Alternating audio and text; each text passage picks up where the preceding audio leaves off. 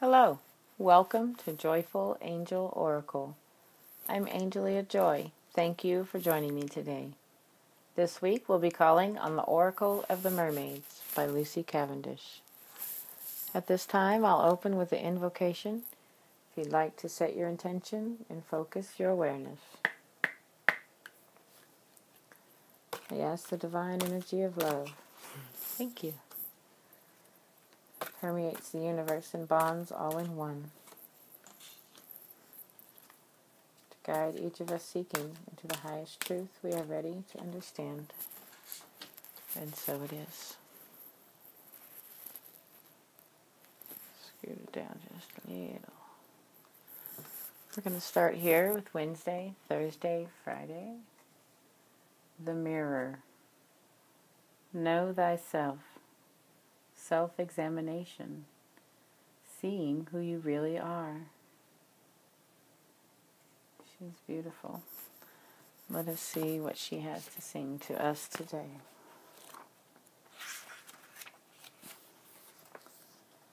Water is a great mirror, and the darker it is, the clearer the reflections of the world around it will be. And so it is with life. The clearer mirror we can look into, will show us who we appear to be. But the dark mirror, metaphorically, is when life or the sea or our feelings become darker, more complex, sad, thoughtful, deep, and at times very painful.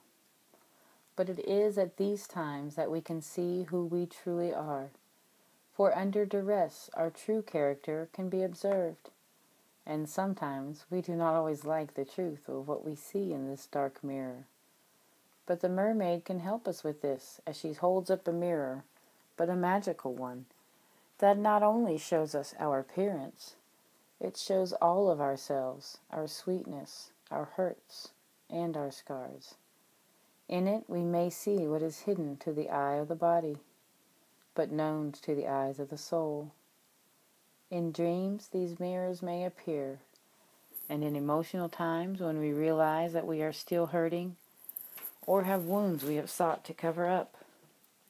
There is no need to cover up or camouflage in this beautiful mirror, nor is it right to judge the scars and woundings, or the beauty and the glory. They simply are. And by seeing clearly, especially in the dark mirror of the great Mother Ocean, we can see who we are. While we swim in clear waters, we can see the light and the positive. But when we swim in dark waters, we can truthfully see so much of who we are and make changes, adaptations, or come to accept the truth of who we are without seeking to adjust. We come to self love, to self knowledge, and self healing. Whew. That's a beauty. Mirror work is intense, but it is is beautiful. Here on the weekend, after all that that work in the mirror, number 27 for the weekend, adrift, letting go, allowing a higher force to take charge for a time. Look at her hand there. She's completely relaxed, just undulating in the waves. Is that a setting sun? Is it just over the horizon? She's absolutely beautiful and relaxed. Let's see what she has to say to us today for the weekend. What is it to be without direction, without self determination, without a sense of empowerment? Is it always disempowering?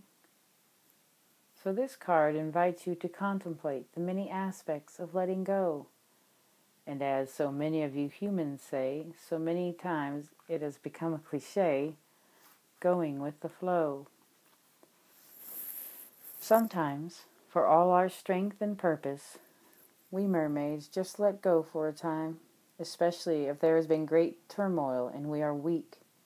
So the adrift card suggests that there's a sense of making no effort at all at the moment, that you may be safe and able to float, but it is up to the tides and the cycles and to the waves and to the wind to determine your, de- your destination.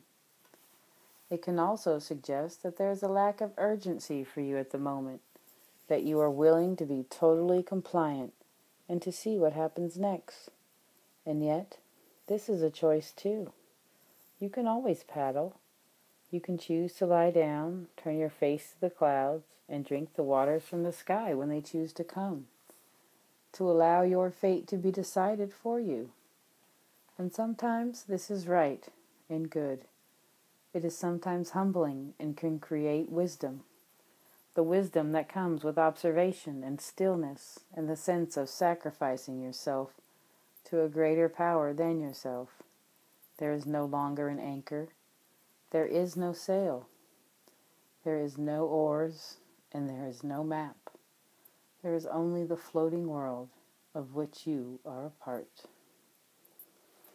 So maybe after after all this self-examination and really know thyself in seeing who you truly are and the accepting and the embracing or the, the the shifting and the adjusting whichever you choose there's no right or wrong it's it's your choice but here as we go into the weekend it's to just allow it to be, allow all of that to sift through and into your world and let it all carry you. And that's when you see if what you discerned in the mirror holds true in your spirit and soul. I think that's what this weekend following that would be about. Then, as the week opens with Monday, Number 14. Isn't this beautiful? Oh, I love this message. Water flight. Heaviness lifts. Burdens are cast away. Weightlessness. So here, this wasn't a weekend of, you know, uh, just laze, lazing about. This was a needed step in order to reach here where the heaviness is allowed to lift. Because here in the letting go,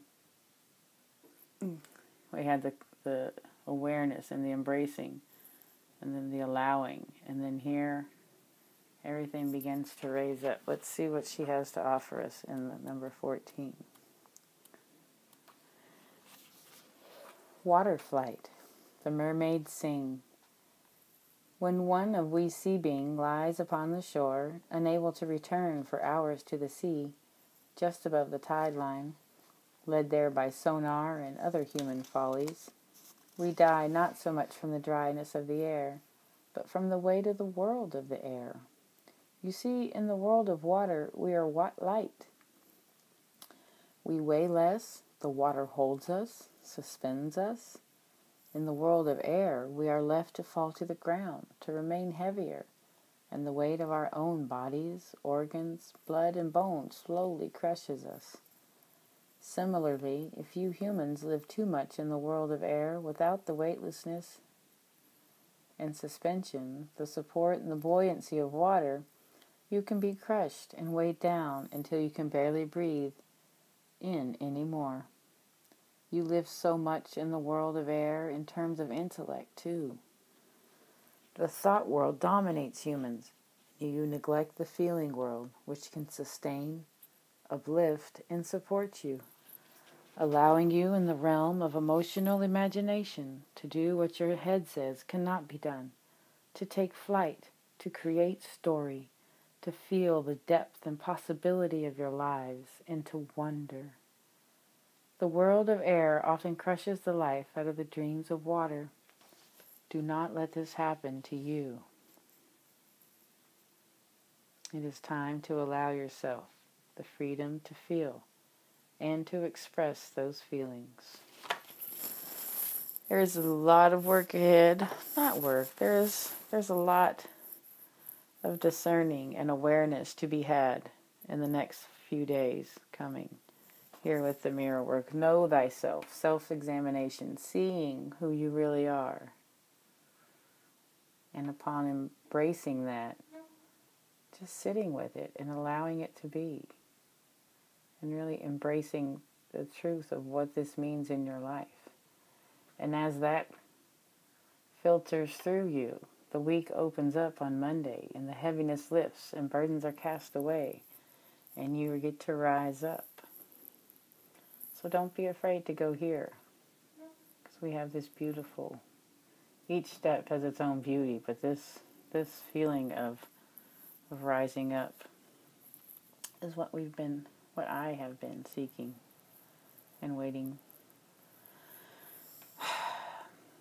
It's going to be a beautiful week. I thank you for joining me, and I hope this helps you tremendously.